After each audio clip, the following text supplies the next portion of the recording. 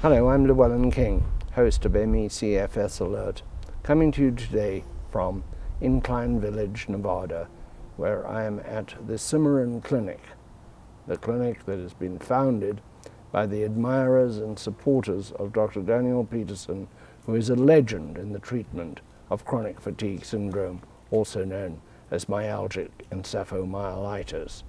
The clinic is only a year old, but Dr. Peterson's efforts go back to the outbreak here in 1984-85.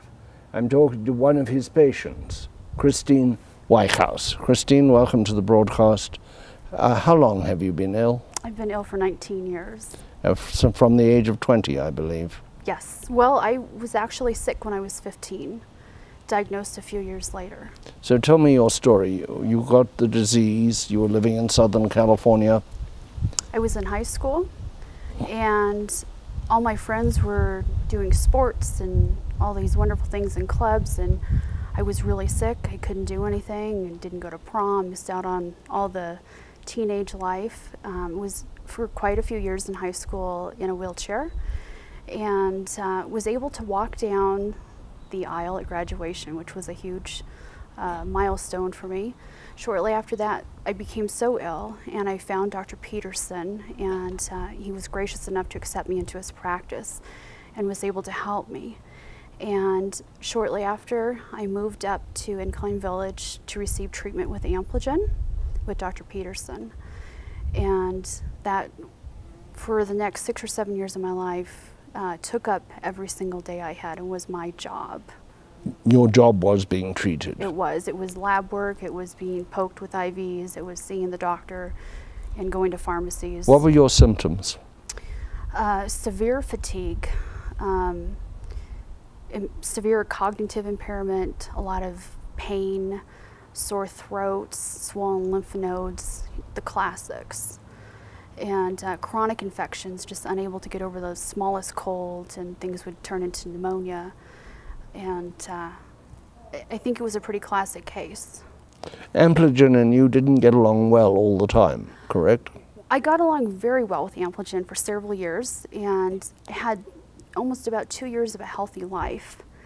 And my dosing changed, things, uh, my body just changed, and it became that that was not the best drug for me. And I uh, switched to gamma globulin, IV gamma globulin every week, and that to this day is my rock. It's just wonderful.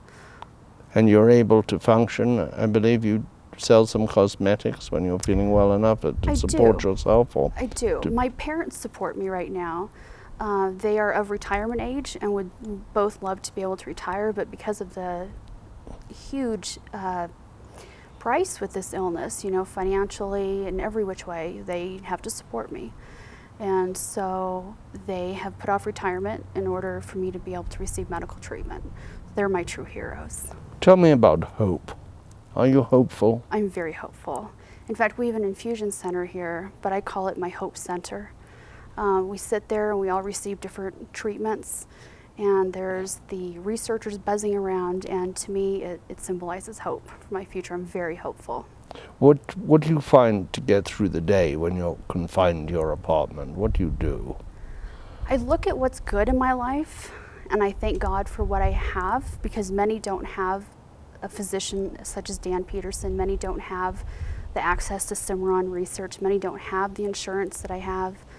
And so I count my blessings and I can be laying flat on my couch and unable to do anything, but I can be grateful and that gets me through the day. I'm currently taking Vistide. I've been on and off for the past several years and it seems that my body responds so well to it. What is Vistide? Vistide is a chemotherapy-like drug, uh, not used to treat cancer in my case, but uh, used to treat the cytomegalovirus.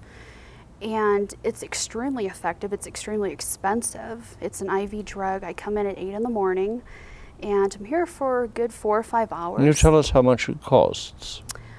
It costs about $900 a treatment. And yes. that, that, how long is a treatment? A treatment is um, about six hours, and that's twice a month. And that, that, but that has a big effect for you. It does. I feel incredibly terrible. I feel almost as if I want to die for the, about two days after the infusion. But then I perk up and I have a couple days where I can clean house or visit with a friend and I feel like a normal person. It's just a wonderful gift.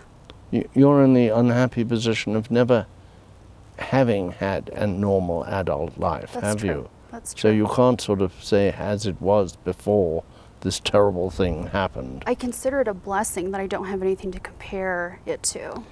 That's very interesting. I mean, I, this is a, a terrible subject, but it's very interesting because so many people have told me about the lives that they lost, what they had before this terrible incursion, this kidnapping of their Yes. life, this taking away. It's a taking that never never gives back. That's true. Why? Why do you think? Do you think that, that we're on the verge of a breakthrough? I get hope and possibility is all around this building, and I was wondering what inspires it. I do. I see Dr. Peterson working with other researchers um, down at Bond University in Australia with Dr. Knox, who is a brilliant uh, researcher as well, and I see so much hope. Um, and what really encourages me and just uh, brings such a lift to my soul is seeing young people who are coming out of university wanting to go into medical school and um, they understand our illness, they want to learn more, and they want to help us find a cure for chronic fatigue syndrome. Have you been able to do any outreach yourself to young student doctors, etc.? I have not, no.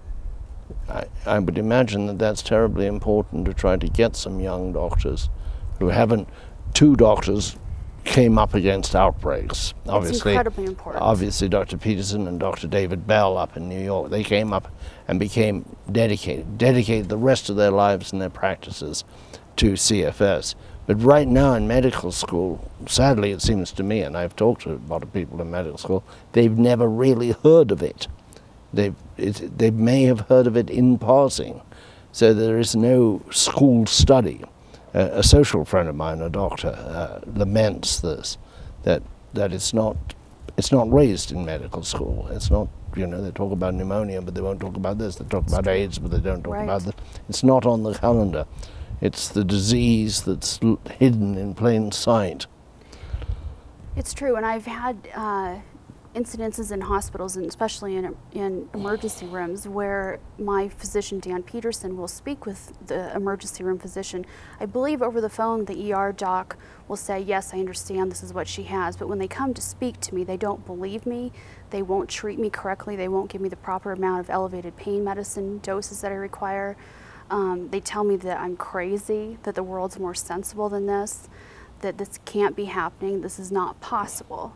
But yet, I'm in their emergency room with incredibly difficult situations sometimes, and it is extremely important to educate our physicians, young and currently practicing, um, so that we don't have patients don't go through the trauma of what I've been through and what so many other patients have been through. They have a term for the, the way uh, siloing or, or stovepiping, Yes. where physicians decide quite amazingly early on their specialties and go with them. Um, if you had your druthers, how would you lead your life today? If you woke up tomorrow and you were well again, uh, how would you deal with that? I would love to be a nurse.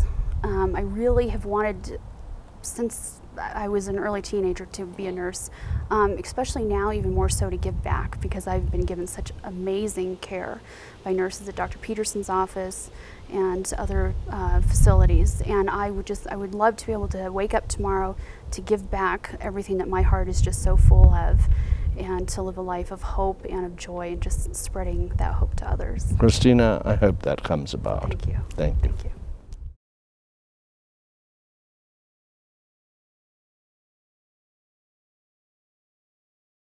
If you would like to sponsor MECFS Alert, please contact us at mecfsalert at gmail.com. Help us to help you.